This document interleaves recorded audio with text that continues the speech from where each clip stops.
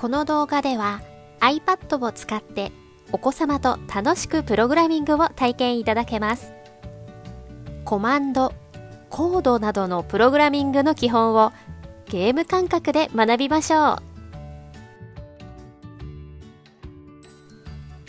ではここからは iPad の画面を触ってみましょう。Swift Playgrounds のアプリを開いていくつかのメニューが出たらその中のコードを学ぼう1と書いてあるところをタップしましょう。タップとは画面をちょんと軽く1回触ることです。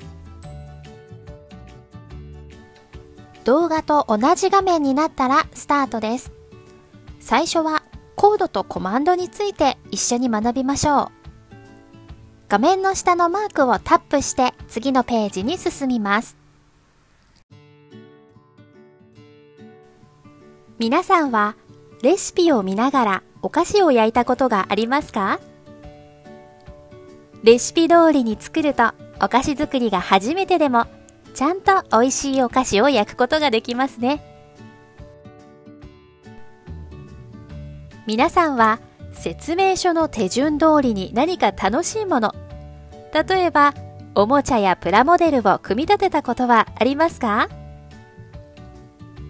説明書があれば作り方を知らなかった人でもおもちゃやプラモデルを組み立てることができますね。でもレシピや説明書がなかったらどうでしょう？何をどうすれば完成するのかわからないですよね。そしてもし正しい手順に従わないとどうなるでしょう？お菓子を焦がしてしまったり、今のようにプラモデルがすぐに壊れてしまうかもしれません。コンピューターも同じです。私たちからの指示があって、初めて何をすればいいのかがわかります。プログラミングでは、指示、命令のことをコマンドと言います。そして、コマンドをいくつか組み立てたものをコードと言います。今回のプログラミング体験の目標はどのコマンドをどの順序で書けば素晴らしいコードが出来上がるかを考えることです。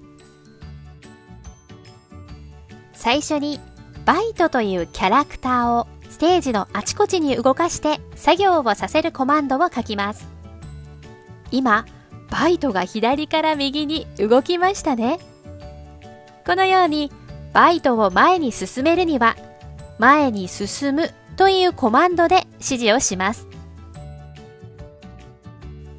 バイトに宝石を取ってもらうときは宝石を取ってというコマンドを書くとバイトがジャンプをして宝石を取ることができます。今画面にある言葉は実は単語が2つつながっています。コレクトとジェムです。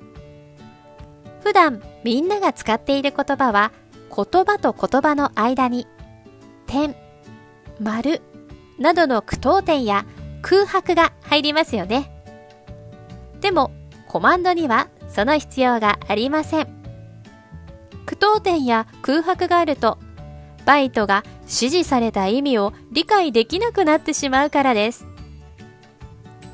最初はもともとあるコマンドを選んで使うので今はよくわからなくても大丈夫。安心してくださいね。では今日はこの4つを目標にできるところまでやってみましょう。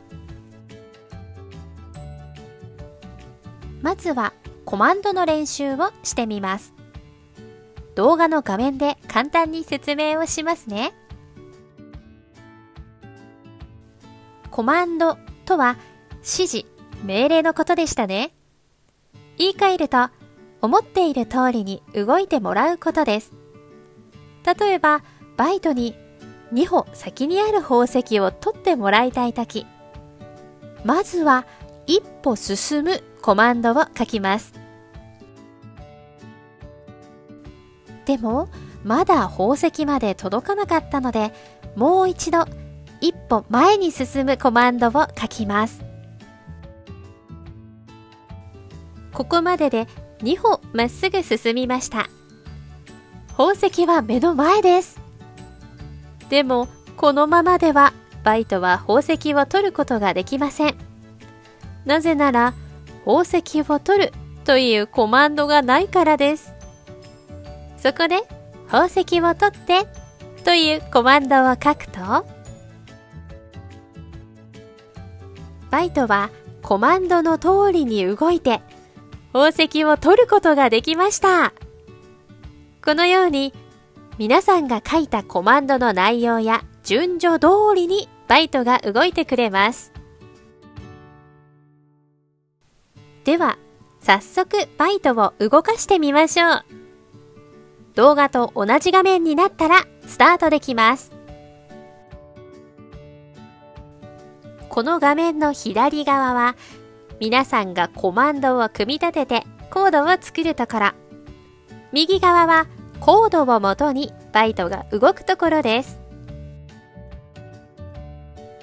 今回の目標はコマンドを使ってバイトを動かして宝石を集めることです。主人公のバイトは宝石を集めるのが大好き。でも自分一人ではできません。Swift コマンドを使ってステージ内でバイトを動かして宝石を取るお手伝いをしてください。まず宝石の位置を確かめます。その宝石が取れるよう。進むコマンドと宝石を取るコマンドを正しい順序で入力します。タップしてコードを入力という青い文字をタップすると画面の下にコマンドが2つ出てきます。コマンドをタップすると入力できますよ。コマンドの順序に気をつけながら入力できたら右下のコードを実行という文字をタップしてみましょう。少し待つとバイトが動き出します。ちゃんと宝石を取れたら成功です。もし取れなかったらヒントを参考にしながらコマンドの順序を変えてみましょう。何度か試して宝石をゲットしましょう。次はバグを直すです。うまく宝石が取れなかったらバグがあるので直さないといけません。バグというのは間違っているコードのことです。例えばこのバイトは宝石まであと一歩手前のところで宝石を取ろうとしています。コードを見ると前に進むと宝石を取るのコマンドが並んでいます。